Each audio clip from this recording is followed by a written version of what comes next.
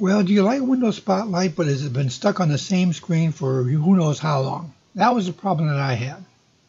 And I went into the settings app, changed it back and forth, tried different things here, changed it to a photo, you know, usual stuff, but nothing helped. So, what to do?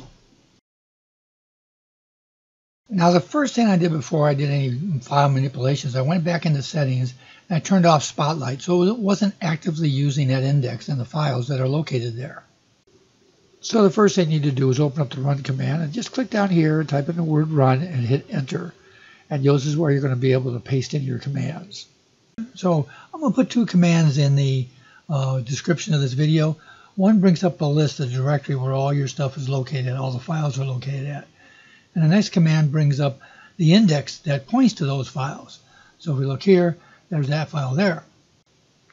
Now you might get a prompt saying that you need to have administrator access for these. So you have to have that set up or grant it when these uh, windows start to open. Now because I like to explain everything in excruciating detail, we're going to explain these files. One's an index files, and it points to these files here. Let's drag one from here and copy it to your desktop.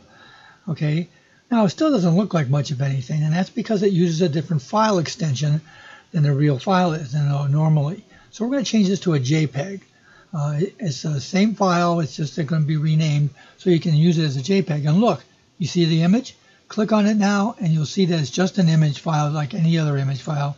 It's just been renamed for the system to use. Now don't misunderstand, you can't just plop your own file in there and rename it to something and have the index find it. It's named by the system. Okay, now that we know what's going on, let's take a look at how you delete this stuff. Again, the two commands are going to be in the description of this video. And the first command we're going to use is to access the index file. Now the index files is used by the system to point to those all those picture files we looked at earlier.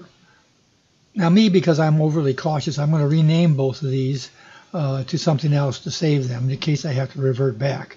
But for the most part, you can just delete those uh, and Windows will recreate them when we enable Spotlight again.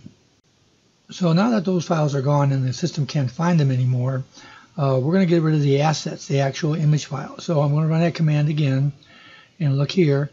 And this is uh, how I had it before. I had what, what, two dozen files here. So I'm going to mass delete them all, just highlight them all and just delete them because I don't really care about them. Uh, I just want them gone so the system can rebuild. So now that you've deleted the index file and all these files here and you're completely empty, uh, now you just simply have to go turn it back on.